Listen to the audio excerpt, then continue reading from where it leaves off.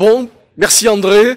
Maintenant, nous allons accueillir Monsieur Michel Mourica, ancien ambassadeur du Venezuela à Paris, qui va notamment nous parler euh, de l'idée que se font, euh, qu'il se fait de De Gaulle et de la tradition historique aussi de De Gaulle au Venezuela.